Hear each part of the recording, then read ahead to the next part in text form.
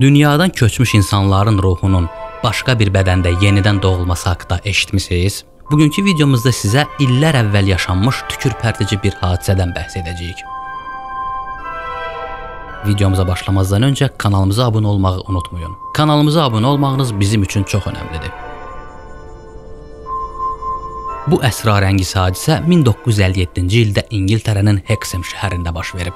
John Pollock və onun həyat yoldaşı Florence'in 11 yaşlı Jacqueline və 6 yaşlı Joanna adlı iki qız övladı var idi. Kiçik bir şəhərdə ailə çox xoşbəxt bir həyat sürürdü. Lakin ailənin xoşbəxtliyi bir günün içində büsbütün dəyişdi. Günlərin bir günü anaları ilə birgə kilsədən evə qayıdan qızları maşın vurdu. Bədbəxt hadisə nəticəsində qızlar öldü.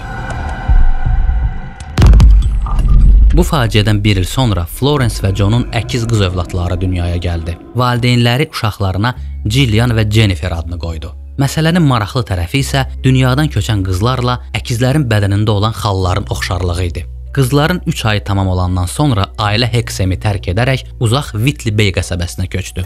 Bu qəsəbədə yeni bir həyata başlayan ailə Hexemdə baş verən faciəni əkiz qızlarından gizli saxlamağa qərar verdi. İllər keçdikcə böyüyən bacıların hərəkətlərində qəribəliklər görünməyə başladı. Əkizlər ölmüş bacılarının oyuncaqlarının adlarını bilir və yoldakı avtomobillərdən qorxurdular.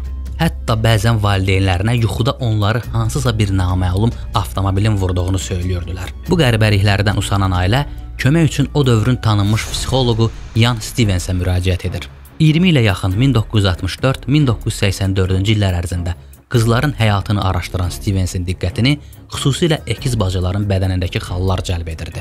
Lakin aparılan bütün araşdırmalara baxmayaraq, həkim bu əsrarəngiz bənzərliyə tutarlı bir izah tapa bilmədi. İllər keçdikcə əkizlərin ölmüş bacılarına bənzərliyi daha da artırdı. Bəzi mütəxəssislər isə baş verən bu hadisəni reinkarnasiya adlandırdılar. Qeyd edək ki, reinkarnasiya ölmüş bir insanın ruhunun yenidən başqa bir bədəndə doğması deməkdir. Bu daha çox Hind fəlsəfəsində özünü biruzə verir. Bugünlük bizdən bu qədər. Videomuzu bəyəndinizsə kanalımıza abunə olmağı unutmayın. Bir bax kanalında yenidən görüşənədək. Hələlik.